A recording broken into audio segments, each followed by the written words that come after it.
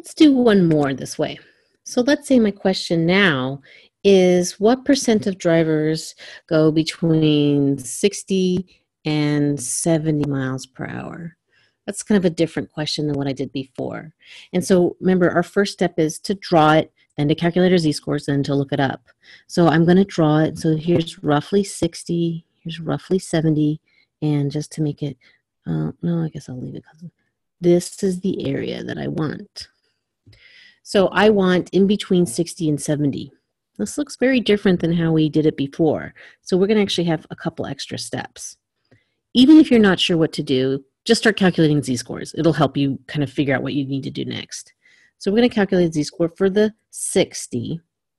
So we have 60 minus 75 divided by 10. Remember, that's a negative 15 divided by 10. It's negative 1.5. Now we already know the z-score for 70 because we did it in the previous video, but just to remind you, I'm just frustrated with the handwriting, divided by 10, and this is going to be a negative 0.5. So now we have a z-score of 1.5 and a z-score, sorry, a negative 1.5 and a z-score of negative 0.5. So I want to take these two scores and figure out what I can glean from the table. This is going to be a little bit of a mental leap, so make sure that you follow and uh, let me know if you're confused. But let's go over to the table real quick. So let's start with the 0.5. So if I have a z-score of 0.5, you'll notice that I can look up the middle area or I can look up the end. These are negative, so this is going to be the view that we're looking at. Now, some students will think, oh, we're looking in the middle, but actually, this isn't from the z-score of 0.5 to the z-score of negative 1.5, right? Those aren't what these are saying. This is saying from negative 0.5 to the mean. And so this isn't, this middle area isn't quite what the question is looking for. But let's go ahead and, and start with this if that's what your knee-jerk response was to think to use, and then I'll show you how we'd actually map it on.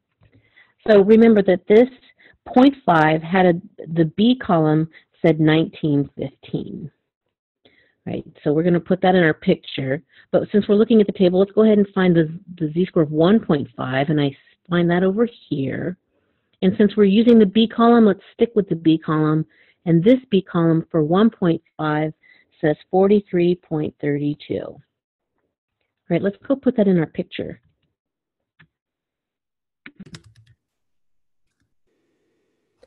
So I want to be really careful about how I put this in my picture to make sure that you're clear. So I'm going to put um, these colors, use different colors. So for the z-score of 60, I'm going to use blue. So we found that the z-score of negative 1.5 had a B column of 43.32. So what that means is, remember, this is the line for 60. From this point all the way to the mean was 43.32. 43.32. So that's this blue line here. Remember, that's the definition of the B column, is it's from your score to the mean. Now I'm going to put the, um, the other z-score in green. So this score of negative 0.5, remember that had a B column of 19.15. So that's going to be from this line. This is the 70 to the 75 that's going to be this distance here. So that is 19.15. So the area that I actually wanted was this area here, see? And that is not the blue area, that is not the green area, but in fact, it's the difference between the two. So the way we would do this is you take your 43, oh, 43.32 and subtract your 1915. Come on, pan. All right. And that's going to give me, if you wanted to figure out in your calculator, 24.17. So the answer for me is 24.17% of people drive between 60 and 70 miles per hour. So you see how the B column didn't quite give us what we wanted at the outset, but we were able to figure out what we wanted. Now, if you had used the C column, you would have ended up doing something similar. The C column would have had you, I'll put that in um, black. The C column would have said, oh, from 60 to the end, what would be your score? And then from 70 to the end, what would be your score? And then you'd have to subtract the two to get the middle. So no matter what, you were going to have to do some subtracting. So what we were able to do then is answer a very complicated question about the, the um, percentage of people who go between 70, 60 and 70 miles per hour by using that table. So sometimes students ask me, how do I know if I'm going to have to um, add or subtract? Because in one of the videos, we added the two scores together. In one of the videos, we subtracted. And so my tip for you is, if you find that scores are going to be flanking the mean, what I mean by flanking the mean is they're on either side of the mean. So here's the mean, and I want the range here, then you're going to have to do some adding. Whether you do the B column or the C column, there's going to have to be adding involved.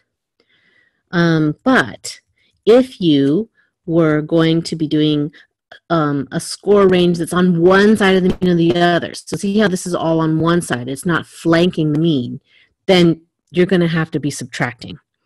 So that's just a, a, kind of a helpful tip for you to orient if they're on one side. It could have been this side or this side. But see how these are on different sides of the mean. Subtracting is going to have to happen. Versus if they're flanking the mean, they're on either side of the mean. So it kind of goes over the mean. Then you're going to have to be doing some adding. All right, we have one more um, kind of use of this table before we're done. Let's check out the next video.